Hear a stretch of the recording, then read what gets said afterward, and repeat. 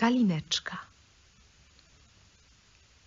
Była sobie pewnego razu kobieta, która bardzo, bardzo pragnęła mieć malutkie dziecko, ale nie wiedziała skąd je wziąć. Poszła więc do starej czarownicy i powiedziała jej: Pragnęłabym z całego serca mieć małe dziecko. Czy mogłabyś mi powiedzieć, skąd je wziąć? Znajdziemy na to radę, powiedziała czarownica. Masz tu ziarnko jęczmienia, nie z tego gatunku, który rośnie na chłopskim polu, ani z tego, który jedzą kury. Wsadź je do doniczki. Zobaczysz, co z tego wyrośnie. Dziękuję ci, powiedziała kobieta i dała czarownicy dwanaście groszy. Potem poszła do domu, zasadziła ziarnko jęczmienia i natychmiast wyrósł piękny, duży kwiat, który wyglądał jak tulipan, ale płatki miał stulone tak, jak gdyby kwiat był jeszcze w pączku. Jakiż to piękny kwiat, powiedziała kobieta i pocałowała śliczne, czerwone i żółte płatki. I w chwili, kiedy składała ten pocałunek, rozległ się jak gdyby wystrzał i kwiat otworzył się od razu. Był to prawdziwy tulipan, ale w środku kwiatu siedziała na zielonym słupku maleńka dziewczynka, śliczna i delikatna. Miała nie więcej niż cal wysokości i dlatego nazwano ją calineczką. Pięknie polakierowana łupina włoskiego orzecha służyła jej za kołyskę. Błękitne płatki fiołków zastępowały materace, a płatek róży kołdrę. Spała tam w nocy, a w dzień bawiła się na stole, gdzie kobieta postawiła talerz, a naokoło zrobiła wianek z kwiatów, których chłodygi leżały w wodzie. Po talerzu pływał wielki płatek tulipana, a calineczka mogła na nim siedzieć i płynąć z jednego brzegu talerza na drugi, a zamiast wioseł miała dwa białe końskie włosy. Wyglądało to prześlicznie. Calineczka umiała także śpiewać, tak pięknie i wdzięcznie, jak nikt na świecie. Pewnej nocy, gdy leżała w swoim ślicznym łóżeczku, przyszła wstrętna ropucha. Wskoczyła ona przez okno, bo szyba była stłuczona. Ropucha była brzydka, duża i mokra. Wskoczyła na stół, gdzie calineczka spała pod czerwonym płatkiem róży. Piękna byłaby z niej żona dla mego syna, powiedziała ropucha. Wzięła skorupę orzecha, gdzie spała calineczka i razem z nią zeskoczyła z okna do ogrodu. Przepływała tam szeroka rzeka. Brzeg jej był bagnisty. Tu mieszkała ropucha ze swoim synem.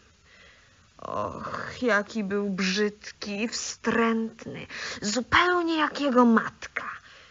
Kwa, kwa, brekekeks. To było wszystko, co potrafił powiedzieć, kiedy zobaczył śliczną, maleńką dziewuszkę w łupinie orzecha. Nie mów tak głośno, bo się obudzi, powiedziała stara ropucha. I jeszcze nam ucieknie, bo jest lekka jak łabędzi puch. Posadzimy ją na rzece, na dużym liściu lilii wodnej. Tam jej będzie dobrze. Ona jest taka lekka i mała, że liść ten jest dla niej całą wyspą. Stamtąd nam nie ucieknie. A my tymczasem doprowadzimy do porządku odświętną izbę pod bagnem, gdzie zamieszkacie po ślubie. Na rzece rosło mnóstwo wodnych lilii z szerokimi liśćmi, które wyglądają jakby pływały po wodzie. Liść leżący najdalej był największy. Do niego podpłynęła ropucha i postawiła na nim łupinę orzecha z salineczką. Biedna mała istotka obudziła się wczesnym rankiem i kiedy zobaczyła, gdzie się znajduje, zaczęła gorzko płakać, bo liść otoczony był ze wszystkich stron wodą i nie mogła się wydostać na ląd. Stara ropucha siedziała na dole w bagnie i zdobiła izbę trzciną i żółtymi płatkami nenufarów. A wszystko musiało być piękne dla nowej synowej. Potem podpłynęła razem ze swoim wstrętnym synem do liścia, na którym stała calineczka. Chcieli zabrać jej śliczne łóżko i wstawić do pokoju młodej pary, zanim ona sama by się tam zjawiła. Stara ropucha ukłoniła się głęboko w wodzie przed calineczką i powiedziała: Oto widzisz mego syna. Zostanie on twoim mężem i zamieszkacie z przepychem na dole w bagnie. Kwa, kwa, brekekeks! To było wszystko, co potrafił powiedzieć syn. Potem wzięli śliczne małe łóżeczko i odpłynęli z nim. A calineczka siedziała sama na zielonym liściu i płakała, bo nie chciała zamieszkać u wstrętnej ropuchy ani zostać żoną jej obrzydliwego syna. Małe rybki, które pływały w wodzie, widziały ropuchę, słyszały, co mówiła i wysunęły głowy z wody, chcąc obejrzeć małą dziewczynkę. Zachwyciły się nią bardzo i zrobiło im się naprawdę żal, że będzie musiała zamieszkać u wstrętnej ropuchy. Nie, nigdy, przenigdy. Zebrały się pod powierzchnią wody, naokoło zielonej łodygi z liściem, na którym stała. Przegryzły zębami łodygę i liść popłynął z biegiem strumienia, a na nim calineczka, daleko, daleko tam, gdzie ropucha nie mogła już jej dogonić. Calineczka przepływała obok różnych okolic, a małe ptaszki siadały w krzakach, patrzyły na nią i śpiewały, jakaż to miła, mała dziewczynka. Liść razem z nią płynął coraz dalej i dalej. W ten to sposób przywędrowała calineczka za granicę. Uroczy, mały, biały motylek krążył nad nią od dawna i w końcu usiadł na liściu, gdyż calineczka spodobała mu się niezmiernie i ona również była bardzo zadowolona, bo ropucha nie mogła jej już dogonić. I tak pięknie było tam, gdzie przepływała. Słońce świeciło na wodzie i wyglądało jak błyszczące złoto. Calineczka wzięła swój pasek i przywiązała jednym końcem motylka. Drugi koniec wstążki przymocowała do liścia. Ruszył on teraz o wiele szybciej i ona również, bo przecież stała na liściu. Nagle sfrunął wielki chrabąszcz. Spostrzegł ją. W mgnieniu oka schwycił w swe macki jej smukłą postać i pofrunął z nią na drzewo, a zielony liść płynął dalej po rzece i motyl również, bo był przecież przywiązany do liścia i nie mógł się uwolnić. Mój Boże, jak bardzo przestraszyła się biedna calineczka, kiedy chrabąszcz usiadł z nią na drzewie. Najbardziej martwiła się jednak tym, że przywiązała motylka, bo przecież jeżeli nie uda mu się uwolnić, umrze z głodu. A chrabąszcz nie troszczył się o to wcale. Usadowił się razem z nią na największym zielonym liściu na drzewie, nakarmił ją słodkim kwiatowym sokiem i powiedział jej, że jest urocza, chociaż zupełnie nie przypomina chrabąszcza. Później przyszły z wizytą wszystkie chrabąszcze mieszkające na tym drzewie. Obejrzały ją. Panny chrabąszczówny potrząsały mackami i mówiły Ona ma tylko dwie nogi. Jakże to nędznie wygląda. Nie ma macek? Mówiły inne. O, jakaż jest cienka w pasie, fe! Wygląda jak człowiek. Jest brzydka mówiły wszystkie chrabąszczówny. A calineczka była przecież taka śliczna. Tak też myślał z początku chrabąszcz, który ją porwał.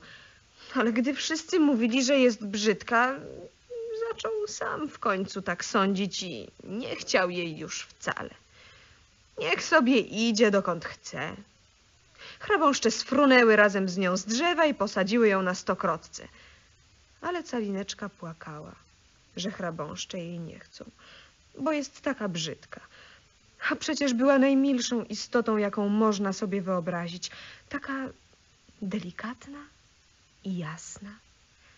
jak najpiękniejszy płatek róży. Przez całe lato mieszkała biedna calineczka, sama jedna w dużym lesie.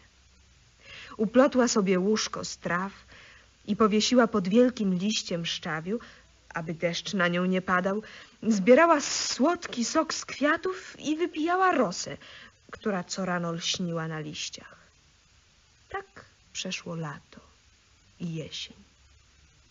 Ale oto przyszła zima. Mroźna, długa zima. Wszystkie ptaki, które tak pięknie dla niej śpiewały, odleciały. Drzewa i kwiaty zwiędły, wielki szczawiowy liść, pod którym mieszkała, zwinął się i pozostał tylko żółty, suchy badyl. Calineczka marzła straszliwie, bo jej sukienki podarły się, a ona sama była taka delikatna i taka mała. Biedna calineczka mogła zamarznąć na śmierć. Zaczął padać śnieg. I każdy płatek śniegu, który na nią padał, był tym, czym dla nas cała łopata śniegu, bo my jesteśmy duzi, a ona miała tylko cal długości. Otuliła się zeschłym listkiem, ale nie ogrzało jej to wcale. Drżała z zimna. Tuż pod lasem, gdzie mieszkała, znajdował się duży łan zboża, ale zboża nie było już od dawna, tylko nagie, wyschłe rżysko sterczało na zmarzniętej ziemi. Rżysko to wydawało się calineczce tak duże, jak olbrzymi las. Och, jakże drżała z zimna. Doszła wreszcie do mieszkania polnej myszki. Myszka mieszkała w małej norze pod ścierniskiem. Było tam ciepło i zacisznie. Cały pokój zapełniony był ziarnami zboża. Oprócz pokoju była piękna kuchnia i spiżarnia. Biedna calineczka stanęła w drzwiach jak mała żebraczka i poprosiła o maleńkie ziarnko jęczmienia, bo od dwóch dni nic nie miała w ustach. Moje ty biedne stworzonko, powiedziała polna mysz, bo w gruncie rzeczy była to dobra stara mysz. Wejdź do mego ciepłego pokoju i zjedz ze mną obiad. A ponieważ calineczka jej się spodobała, powiedziała Mogłabyś zostać u mnie przez zimę, ale musisz ładnie, czysto sprzątać mój pokój i opowiadać mi bajki, bo bardzo bajki lubię. Calineczka robiła wszystko, czego wymagała od niej stara mysz polna i odtąd wiodło się jej wcale dobrze. Będziemy miały wkrótce odwiedziny, powiedziała mysz polna. Mój sąsiad ma zwyczaj odwiedzania mnie raz na tydzień. Powodzi mu się jeszcze lepiej niż mnie. Ma wielkie salony i nosi piękne, czarne, aksamitne futro. Gdyby chciał cię wziąć za żonę, miałabyś los zapewniony. On jest niewidomy. Musisz mu opowiadać najpiękniejsze bajki, jakie znasz. Ale calineczka nie miała na to ochoty. Nie zależało jej wcale na sąsiedzie, gdyż był to kret. Przyszedł wreszcie w odwiedziny w swoim czarnym, aksamitnym futrze. Mysz polna mówiła, że jest taki bogaty i uczony i że jego mieszkanie było więcej niż dwadzieścia razy większe od mieszkania myszy. Był rzeczywiście uczony, ale nie znosił słońca i pięknych kwiatów. Calineczka musiała mu śpiewać i zaśpiewała Leć, hrabąszczu, leć i chodzi mniszek po łące. Wtedy kret zakochał się w niej, zachwycony jej pięknym głosem, ale nie powiedział nic, bo był to już taki rozważny jegomość. Wykopał sobie w ziemi długi korytarz prowadzący do nory myszy, pozwolił calineczce i myszy spacerować po tym korytarzu, kiedy będą chciały. Prosił je, aby się nie bały martwego ptaka, który leży w korytarzu. Był to cały ptak, ze skrzydłami, z dziobem. Umarł zapewne niedawno i pochowano go właśnie tam, gdzie kret wykopał swój korytarz. Kret wziął do pyska kawałek próchna, które świeciło w ciemnościach. Szedł przodem i świecił im w długim, ciemnym korytarzu. Gdy przyszli do miejsca, gdzie leżał martwy ptak, kret wparł swój szeroki nos w powałę i rozrzucał ziemię, dopóki nie zrobił otworu dużego, przez który przeświecało światło. Po środku, na podłodze, leżała martwa jaskółka. Piękne jej skrzydła były z obu stron przyciśnięte do boków, nogi i głowa schowane pod pióra. Biedny ptak na pewno umarł z zimna. Calineczce strasznie go było żal. Kochała tak bardzo wszystkie ptaszki, które jej tak pięknie śpiewały i ćwierkały, ale kret trącił ptaka swoją krótką nogą i powiedział – nie będzie już nigdy śpiewać.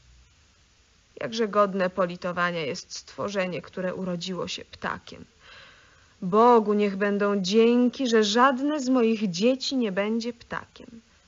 Taki ptak nie potrafi nic, tylko wołać kwivit, a w zimie musi umierać z głodu. Tak, mówi pan jak człowiek rozsądny, odezwała się mysz polna. Co przyjdzie ptaszkowi z jego świergotu, gdy nadchodzi zima? Musi głodować i marznąć. Jednak jest w tym coś wzniosłego. Calineczka nie powiedziała nic, ale gdy oboje odwrócili się plecami do ptaka, schyliła się, odgarnęła pióra, które zakrywały mu głowę i pocałowała go w zamknięte oczy. Może to on tak latem ślicznie mi śpiewał, myślała. Ileż radości sprawił mi ten kochany, piękny ptaszek.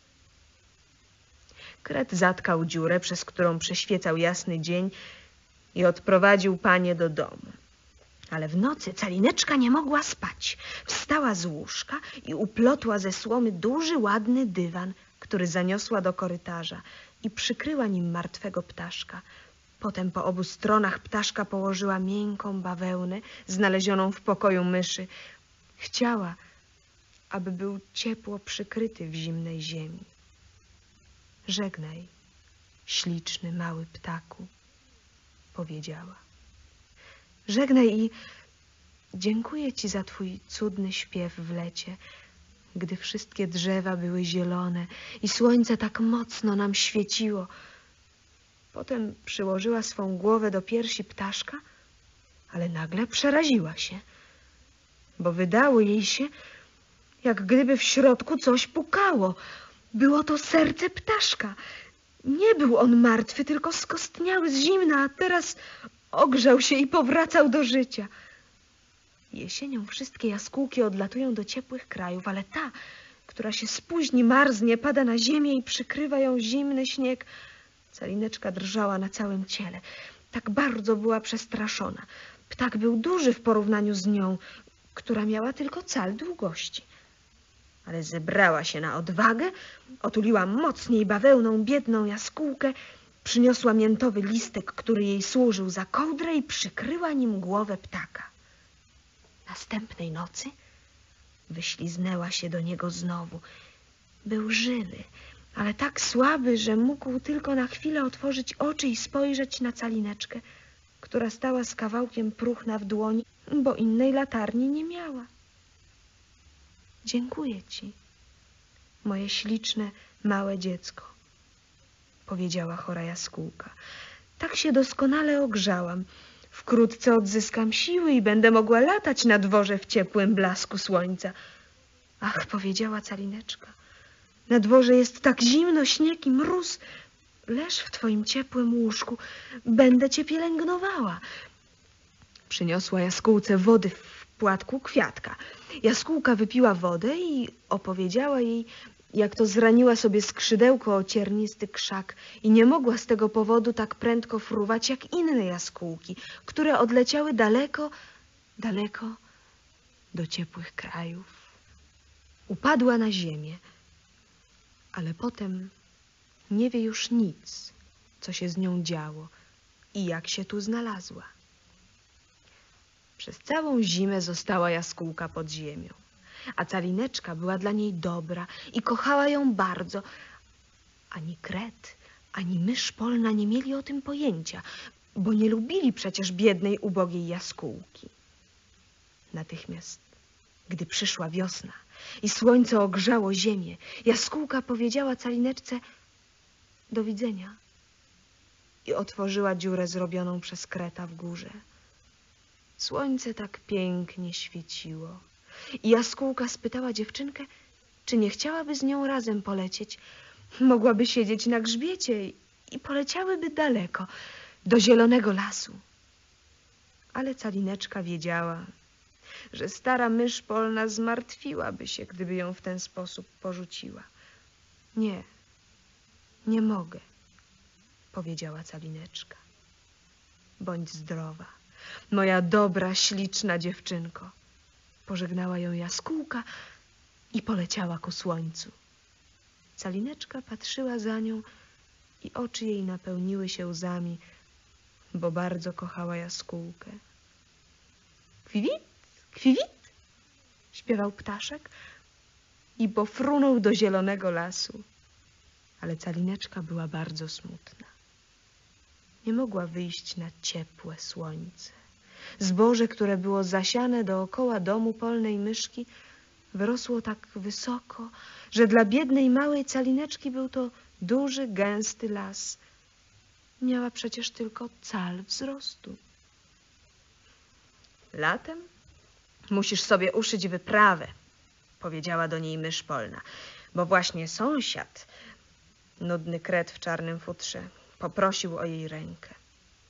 Musisz mieć suknię i bieliznę, abyś miała w czym chodzić i w czym spać, kiedy będziesz żoną kreta. Calineczka musiała kręcić wrzeciona, a mysz polna wynajęła cztery pająki, które dzień i noc przędły i tkały. Co wieczór odwiedzał ją kret i mówił bez przerwy o tym, że kiedy skończy się lato, słońce przestanie tak grzać, bo teraz rozpala ziemię na kamień, więc kiedy przejdzie lato, wyprawią sobie wesele. Ale dziewczynka nie była wcale zadowolona, bo nie znosiła kreta.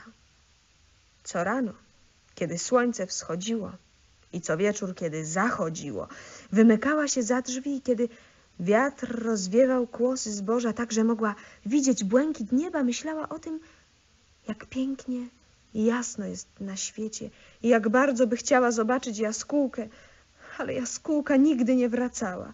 Na pewno była daleko w pięknym, zielonym lesie. Kiedy nadeszła jesień, wyprawa calineczki była skończona. Za cztery tygodnie będziesz miała wesele, powiedziała do niej mysz polna. Ale calineczka zaczęła płakać i powiedziała, że nie chce iść za mąż za kreta. Głupstwo, powiedziała mysz polna. Nie upieraj się, bo cię ugryzę moimi białymi zębami. Będziesz miała takiego pięknego męża. Nawet królowa nie ma takiego pięknego, czarnego futra. Ma on dobrze zaopatrzoną kuchnię i piwnicę. Powinnaś Bogu dziękować za takiego męża. I oto miało się odbyć wesele. Przyszedł kret, aby zabrać calineczkę. Miała z nim mieszkać głęboko pod ziemią i nigdy nie wychodzić na ciepłe słoneczko, bo kret nie znosił słońca. Biedne dziecko było bardzo zmartwione. Musiała pożegnać się z ciepłym słońcem, w które mogła przecież patrzeć, stojąc przed drzwiami mieszkania polnej myszy. Żegnaj, jasne słońce, powiedziała dziewczynka. Wyciągnęła do góry ramiona i oddaliła się trochę od mieszkania polnej myszy. Zboże było zrzęte i sterczały tylko suche badyle. Żegnaj, żegnaj, powtórzyła i objęła swoim delikatnym ramieniem mały, czerwony kwiatek, który tam rósł.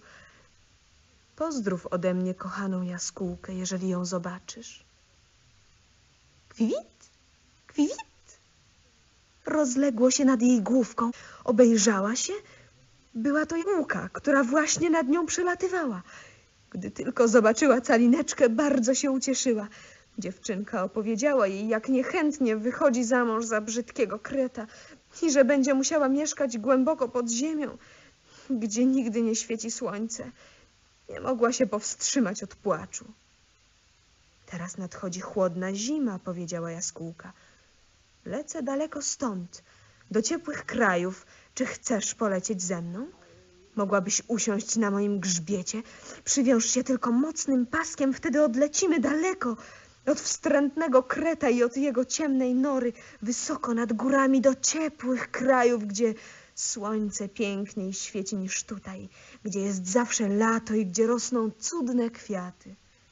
Leć tylko ze mną, mała kochana calineczko, która uratowałaś mi życie, kiedy leżałam zmarznięta w ciemnej piwnicy. Tak, polecę z tobą, powiedziała calineczka i usadowiła się na grzbiecie jaskółki. Nogi oparła na rozpostartych skrzydłach i przywiązała się paskiem do najmocniejszego pióra jaskółki. A jaskółka poleciała wysoko w powietrze nad lasami i morzem, wysoko nad wielkimi górami, gdzie zawsze leży śnieg. Calineczka marzła w zimnym powietrzu, ale wtedy wtulała się w ciepłe pierze ptaka i wysuwała tylko główkę, aby podziwiać z góry wszystkie piękności. Przyleciały do ciepłych krajów. Słońce świeciło tam o wiele cieplej niż tu. Niebo było dwa razy tak wysokie, a na wzgórzach i płotach rosły najpiękniejsze, jasne i ciemne winogrona. Na drzewach wisiały cytryny i pomarańcze. Pachniały mirty i mięta, a po drogach biegały śliczne dzieci i bawiły się dużymi, barwnymi motylami. Ale jaskółka leciała jeszcze dalej, a było tam coraz ładniej i ładniej. Pod wspaniałymi zielonymi drzewami na brzegu błękitnego morza stał lśniący, biały, starożytny zamek z marmuru. Winogrona pieły się wzdłuż wysokich kolumn, na górze było wiele gniazd jaskółczych, a w jednym z nich mieszkała jaskółka, która przyleciała z calineczką. Tu jest mój dom, powiedziała jaskółka ale ty musisz sobie wyszukać jeden z tych pięknych kwiatów, które rosną tam na dole. Umieszczę cię tam i będzie ci tak dobrze, jak tylko można sobie wymarzyć. To cudownie, powiedziała calineczka i klasnęła w małe rączki. A leżała tam duża, biała kolumna z marmuru. Upadła ona kiedyś i pękła na trzy kawałki między którymi kwitły najpiękniejsze, wielkie, białe kwiaty. Jaskółka zniżyła się i posadziła calineczkę na jeden z szerokich płatków. Cóż za niespodzianka! W środku kwiatu siedział maleńki człowieczek, tak biały i przezroczysty, jak gdyby był zrobiony ze szkła. Na głowie miał piękną, złotą koronę, a z ramion wyrastały mu cudne, jasne skrzydła, a nie był wcale większy od calineczki. Był to duszek kwiatów. W każdym kwiecie mieszkał taki maleńki pan albo maleńka pani, ale ten królował nad wszystkimi. Boże, jakiż on piękny! Szepnęła calineczka do jaskółki. Mały książę przestraszył się bardzo jaskółki, bo w porównaniu z nim była olbrzymim ptakiem. Ale kiedy zobaczył calineczkę, ucieszył się. Była to najpiękniejsza dziewczynka, jaką kiedykolwiek widział. Zdjął więc z głowy złotą koronę, włożył ją calineczce i spytał, jak się nazywa i czy chce zostać jego żoną i królową wszystkich kwiatów. To był rzeczywiście zupełnie inny mąż niż syn ropuchy i kret w czarnym aksamitnym futrze. I dlatego calineczka odpowiedziała pięknemu księciu tak. Z każdego kwiatu wyszła pani lub pan i byli tacy śliczni, że aż przyjemnie było patrzeć. Każdy przyniósł calineczce jakiś podarunek, ale najpiękniejsze ze wszystkiego były dwa piękne skrzydła dużej białej muchy. Skrzydła te przytwierdzono jej do pleców i mogła teraz fruwać z kwiatka na kwiatek. Była to wielka przyjemność. A jaskółka siedziała na górze w swoim gnieździe i śpiewała im, jak tylko potrafiła najładniej, a w głębi duszy była zmartwiona, bo bardzo kochała calineczkę i niechętnie się z nią rozłączała. Nie powinnaś się nazywać calineczka, powiedział do niej duszek kwiatów. To brzydkie imię. A ty jesteś taka ładna. Będziemy cię nazywali Maja. Bądź zdrowa.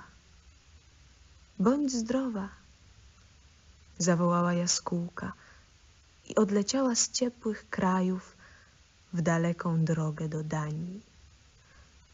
Tam uwiła sobie małe gniazdko nad oknem, gdzie mieszkał pan, który umie opowiadać baśnie. Śpiewała mu kwiwit, kwiwit. I stąd ta cała historia.